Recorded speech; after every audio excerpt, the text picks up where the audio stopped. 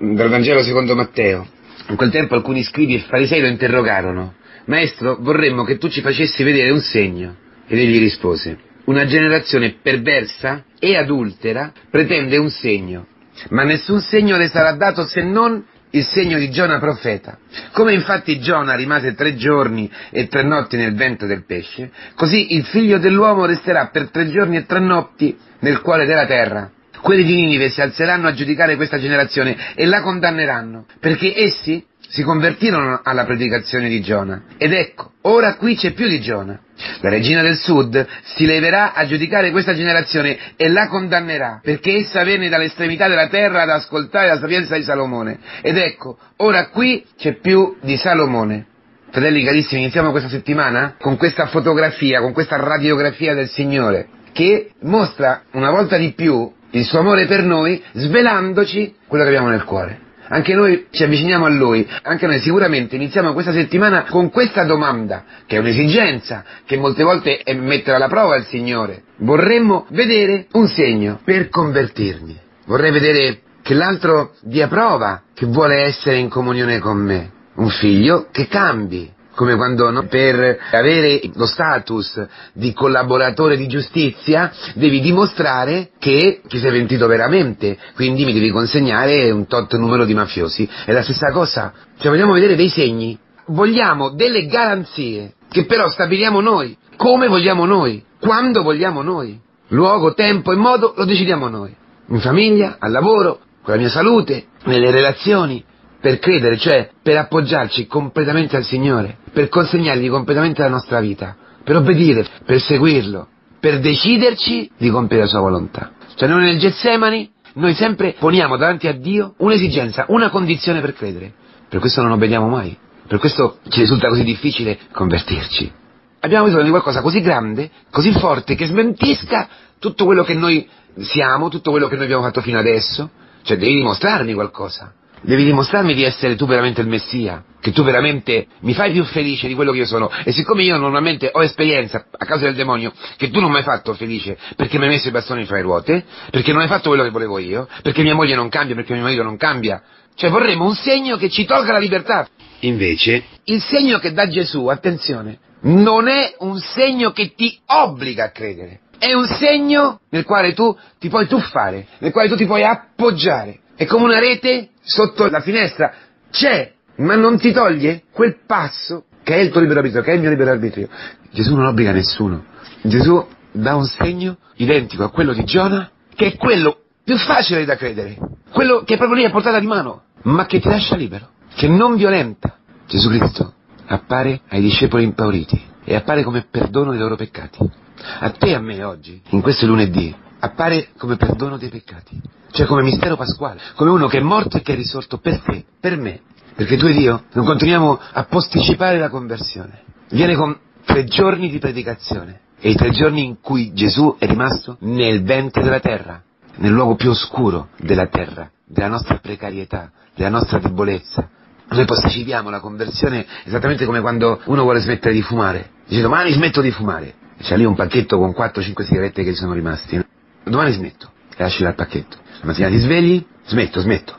Ma poi vedi que- quelle 3-4 sigarette che sono rimaste. Va bene, dai, mi, mi finisco queste 3-4 sigarette e poi smetto. E già sei fritto. Ed è così. Domani mi converto. Domani perdonerò. Domani, domani ascolterò mia moglie. E quando arriva questo domani, c'è sempre lì un gancino, a ieri, che ti impedisce di convertirti. Un gancio di carne, un gancio di seduzione, un gancio di menzogna che ti lega al passato, che ti lega a ieri, quando tu volevi, ma in fondo non volevi convertirti. E perché? Perché non vogliamo convertirci? E perché Gesù non ci violenta? Perché la nostra libertà è sacra, fa parte dell'immagine e somiglianza di Dio. Dio liberamente ci ha amato, Dio liberamente ci ha creato, Dio liberamente, rischiando di essere rifiutato, ci ha fatto la sua immagine e somiglianza. E per- perché non ci convertiamo? Perché dobbiamo sperimentare una sola cosa, fratelli. Quello che hanno sperimentato i Niniviti. Ninive era una città terribile, dice dove la gente non sapeva distinguere la destra dalla sinistra, non aveva nessun discernimento, viveva seguendo la carne, viveva seguendo gli istinti, posticipava, posticipava, posticipava, abitanti che posticipavano costantemente. Ma dicono gli esegieti rabbini che la parola Ninive e la parola Giona hanno la stessa radice, cambia soltanto la piccola lettera, hanno la stessa radice. Ecco perché si sono convertiti. Perché hanno visto in Giona un uomo con le stesse loro radici. Cioè un fratello loro, uno come loro. Di fatto era un pigrone, non voleva andare a Ninive, aveva paura, dice questi non mi ascolteranno, voleva come profeta l'esito umano, aveva i suoi criteri, i suoi schemi, e questo lo portava nel cuore. Portava nel, nel cuore Ninive. Era un ninivita anche lui, pur non sapendolo. Per questo viene buttato in mare, perché portava dentro un veleno, portava dentro un demonio, e quel demonio doveva essere sconfitto prima in lui.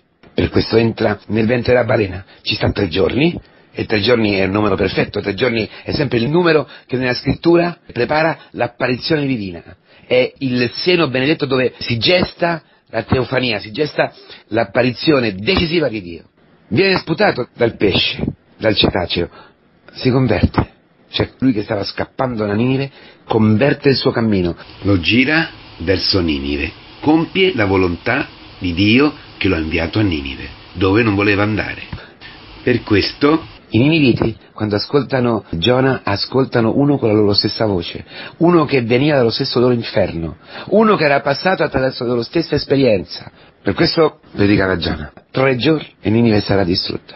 Tre giorni, lo stesso tempo che lui ha avuto per convertirsi nel buio, nella paura, nel ventre di questo pesce, che era la sua tomba, che era l'incontro con se stesso, dove è rientrato in sé e ha capito che lui era il peccatore, che lui era dentro un demonio che non era per niente diverso da quello dei niniviti che giudicava incapaci di convertirsi. E questo è il nodo profondo che abbiamo tutti noi nei confronti di nostro figlio, di nostra moglie. Per questo non ci convertiamo noi, perché tanto non si converte mia moglie. Fammi vedere che si converte mia moglie. Convertiti tu e mi convertirò io. Guardiamo sempre fuori, non ci riconosciamo peccatori, ci pensiamo migliori dell'altro. In fondo ci crediamo Dio, no? Per la menzogna del demonio come Giona, che per questo giudicava i Niniviti e giudicava impossibile la loro conversione, per questo non voleva andare dai Niniviti, come noi non vogliamo andare da nostra moglie. Non possiamo obbedire alla volontà di Dio che ci spinge a donarci, a offrirci all'altro per offrire la conversione. Se io non ho bisogno di convertirmi, se cioè non mi sono scoperto peccatore e non ho fatto l'esperienza dell'amore di Dio e quindi della conversione, resterò bloccato nella mia pretesa giustizia, come tanti farisei, come tanti dottori della legge, che non a caso ritenevano i poveri, i piccoli, i peccatori maledetti perché non conoscevano la legge, quindi inconvertibili, e rimanevano chiusi nelle loro posizioni, chiusi nella loro durezza di cuore che gli impediva la conversione. Per questo non accettavano Cristo che gli predicava la conversione come te e come me, illusi di essere nel giusto, illusi di non aver bisogno di conversione. Quindi, se non ho bisogno di conversione, per accettarlo come Messia, come Dio e Signore della mia vita, esigo da Gesù un segno sugli altri, su chi mi accanto, su mia moglie, sui miei figli, su mio marito, sul collega di lavoro, sulla suocera, un segno che cambi il loro cuore, che cambi la loro forma di pensare, che la adegui a me che sono Dio, a me che sono nel giusto. Un segno che mi confermi come Dio, un segno da Gesù che confermi la bontà delle mie posizioni, esattamente quello che volevano certi farisei, certi dottori della legge, quelli che poi lo hanno condotto alla morte, perché quel segno, come loro lo volevano, non gliel'ha dato. Ecco il nodo gordiano che blocca la nostra vita, che ci impedisce di convertirci e quindi di donarci e quindi di compiere la volontà di Dio nell'amore. Per questo, come Giona, abbiamo bisogno di un segno che ci faccia scoprire di essere noi peccatori, di non essere Dio, di aver bisogno di convertirci, un segno che ci dimostri che così non possiamo continuare perché siamo morti noi, per questo siamo infelici, che non sono gli altri che ci impediscono di essere felici, ma è dentro di noi il male. Per questo è diverso il segno che ci dà il Signore. Qual è? Lui stesso, quello che è molto di più di Giona, che viene nella nostra vita, lui, Gesù, viene nella nostra vita come nostro fratello, senza violentarci, entra dalla porta di servizio, entra a porte chiuse. Guardate, io sono entrato nella tua morte, conosco perfettamente la tua morte. Allora, come Giona quando parlava, toccava il cuore dei niniviti perché parlava il loro stesso linguaggio, veniva dalla loro stessa esperienza. Quando diceva convertitevi, sapeva di cosa parlava, sapeva cosa vuol dire morire, Sapeva cosa vuol dire giocarsi la vita? Cioè che quei tre giorni erano fondamentali perché erano i giorni in cui Dio si stava preparando la, la manifestazione. Cioè preparava il momento decisivo della loro vita. Li aveva vissuti lui quei tre giorni. Per questo era credibile. Ma non obbligava. Cioè non erano i consegni, era lui il segno, era la sua vita, la sua esperienza, non erano i miracoloni, non era le fiamme, le saette, dice credi, credi, no, era guarda, io sono, per te il segno, io ho vissuto come te, ma sono risuscitato, Dio ha avuto pietà di me, come può avere pietà di te, convertiti, cambia vita. Allora viene Gesù così, con le piaghe tue e mie, ma gloriose. Vieni oggi con le porte chiuse, cioè il tuo cuore sbarrato, il tuo cuore che sempre posticipa la conversione. Gesù lo supera, viene dentro di te. E dice guarda, io sono stato tre giorni e tre notti nel ventre della terra, nel ventre della tua polvere, della tua terra. Cioè conosco il tuo cuore, sono entrato nel tuo cuore, ho sperimentato nella mia carne le conseguenze dei tuoi peccati. Per questo ti dico, ti rivelo quello che il demonio ti ha nascosto, che tu soffri per causa dei tuoi peccati. Non c'entra niente tua moglie, non c'entra niente tuo marito, non c'entra niente i tuoi figli, non c'entra niente la malattia. Sei tu, sei tu che hai un cuore malato, sei tu che non sai dove andare, sei tu che sei perverso. Sei figlio, generazione, della perversione e dell'adulterio, cioè perversione. Cioè tutte le versioni, tutte le visioni, tutti i criteri, tutti i discernimenti sulla vita sono pervertiti, cioè sono messi al contrario, sono messi in traverso. Tutto falso quello che pensi. Non è come tu pensi. Sei adultero, hai dato il cuore agli idoli, a te stesso, al demonio, al denaro, non so io che cosa. Hai lì dentro una radice di perversione, di adulterio. Convertiti. Io sono entrato in quello che significa essere adulteri, non essendo adultero. Sono morto come un adultero, come un malfattore. Per te, sto con te, ti amo. Lasciati prendere per mano. Lasciati portare fuori. Vestiti di sacco e di cenere. Vestiti di sacco e dormi sulla cenere. Inginocchiati sulla cenere. Cioè, riconosci la tua povertà, la tua debolezza, la tua precarietà. Sei polvere, ma io in questa polvere sono entrato, mi sono fatto sbriciolare come un pezzo di pane. Convertiti, convertiti veramente. Questo lo possiamo fare oggi, perché Gesù viene dal nostro stesso inferno, viene nel nostro stesso inferno. Coraggio. Eh? I pagani ci sono intorno, i fratelli che hanno avuto questa esperienza, che sono venuti dall'Oriente, cioè sono venuti come la regina di Saba, come i niniviti che si sono convertiti, sono i pagani, sono i fratelli che sono accanto a noi, le persone che sono convertite accanto a noi, nella Chiesa i santi, famosi e quelli che oggi, oggi davanti a te, appoggiati alla loro vita. Guarda, Gesù ti ama, Gesù è venuto per te, Gesù non ti impone nulla, il luogo dove tu puoi gettare la tua libertà. Lui nel Getsemani non ha messo condizioni, lui ha accettato di essere debole e di non voler morire così, ma si è buttato tra le braccia del Padre. Tu puoi fare lo stesso, perché nel Getsemani è sceso Cristo in quel tuo Getsemani di oggi, dove non puoi decidere, dove hai paura di decidere, dove non vuoi convertirti, dove hai paura di convertirti. Convertiti, accetta di essere tu il peccatore, accetta di essere tu polvere, accetta di, di avere tu dentro un cuore malato e perverso perché Dio faccia un'altra generazione in te, ti generi una vita nuova, figlio di Dio. Lasciati trascinare da Cristo fuori dal sepolcro.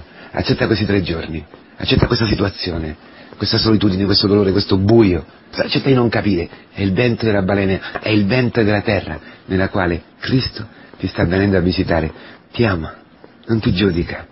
Lasciati portare con Lui e vedrai che la tua vita cambierà radicalmente. Perdonerai, ti aprirai alla vita, entrerai nella malattia e scoprirai in quella malattia il volto buonissimo, bellissimo del tuo sposo, quel letto di ospedale, quella chemio, quelle situazioni, invece di andare in estate fuori, devi fare la chemio, quello è il letto d'amore, dove Cristo ti sta sposando. Coraggio, non siamo migliori di nessuno, siamo dei poveracci, siamo come i niniviti, siamo veramente dei pagani, perversi adulteri, ma Cristo non ci giudica, Cristo è sceso lì, come nella notte di Pasqua, viene e ci mostra le sue ferite.